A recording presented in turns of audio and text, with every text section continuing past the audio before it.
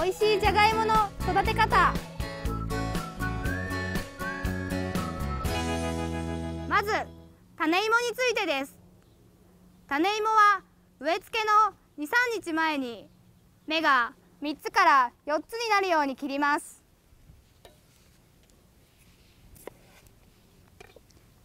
切り口を陰干しします。じゃがいもシリカを切り口につけると種芋が腐るのを防いでくれます。さらに芽や根を出やすくする効果があります。次に畑の準備をします。じゃがいもは石灰をまく必要はほとんどありません。畝の幅は70センチ高さは約10センチにします。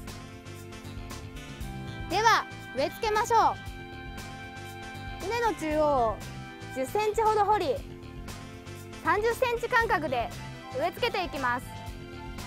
根がある方を上にして植えていきます。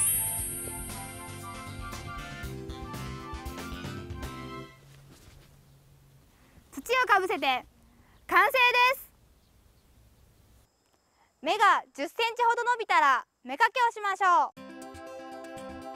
元気の良い苗を2、3本残し他は芽かけをします。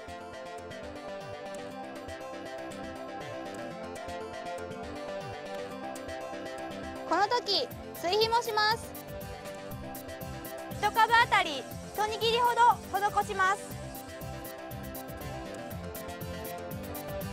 しっかりと土寄せを行いましょう。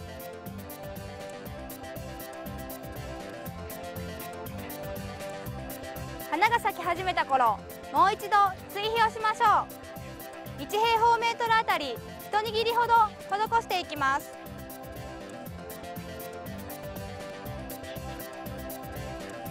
肥料を施したらしっかりと土寄せをしましょう。葉っぱが黄色くなり始めたらいよいよ収穫です。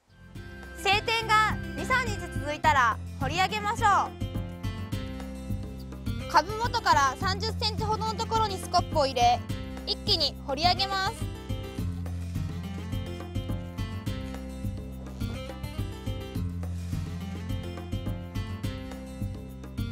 美味しそうなじゃがいもが収穫できました。